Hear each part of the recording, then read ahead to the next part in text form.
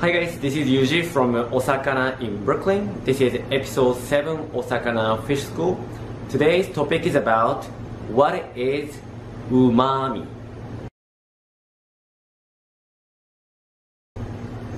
I thought that it is important to talk about what umami is in this episode because I mentioned umami a lot in my different episodes. Umami is commonly used for Japanese cuisine in uh, general. However, it is not only related to Japanese cuisine. It happened to be a Japanese scientist who discovered what umami was. So let's see what that umami is. A lot of people uh, think that umami is deliciousness, savory flavor. Uh, there are a lot of different words for uh, what the umami is, but uh, I'm gonna just make it very simple. Umami is amino acid that is found in ingredients. Yes, so umami is in every ingredient. And it's, what's very important is uh, to understand what umami acid is in what ingredients. There are two major umami acid. The first one is glutamic acid and the second one is inosinic acid.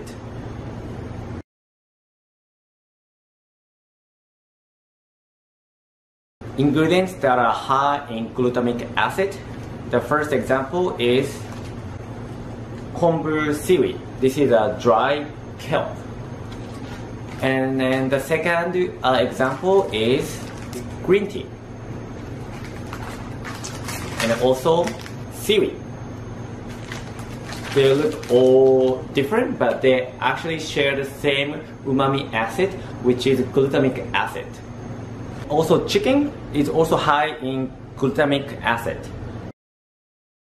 This is bonito flake.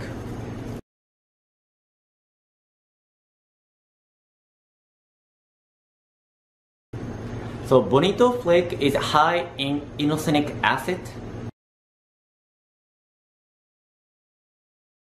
Other type of fish, tuna, salmon, they are high in inosinic acid. Pork and beef are same as uh, fish. They are high in inosinic acid. Important thing about understanding umami acid is that uh, umami acid is uh, saturated and uh, enhanced by uh, taking the moisture out. That's why a lot of the umami high ingredients are dry products such as the kelp, bonito flake, uh, nori seaweed, and also that even tea.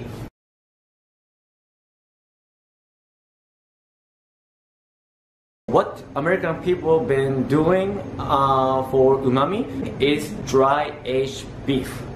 Dry aged beef is a great example of umami enhancement. Dry aged beef room is usually temperature control and then the humidity control so that the moistures are always out of the beef and then the beef are keep sort of like shrinking and then concentrating uh, umami flavor by uh, without being spoiled because the room itself is humidity controlled. If the room is not humidity controlled and then uh, moisture is a lot in the room, the beef actually spoils. But by controlling uh, the moisture level of a uh, dry aged beef room, uh, the inosinic acid of the beef will keep being concentrated. That's why dry aged beef has higher umami than the regular beef.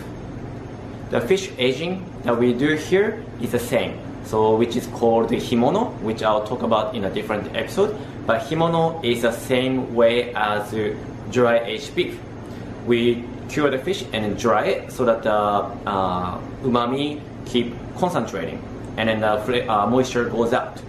So the dry aged beef and then the himono, dry aged uh, fish, are the same way of enhancing uh, inosinic acid. So I want to show you a fun project that we do here. This is our uh, toro.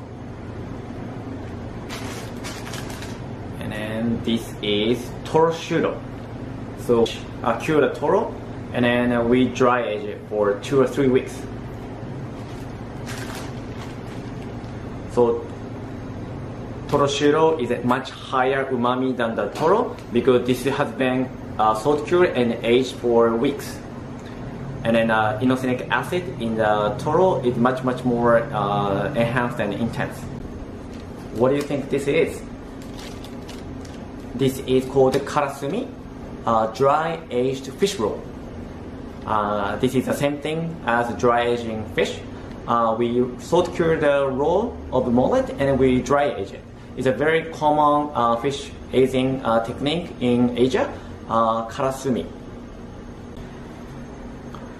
Umami also has a lot to do with how to make broth, such as dashi. And I'm gonna talk about it in the next episode, dashi making, which also leads to miso soup making and also ramen broth making.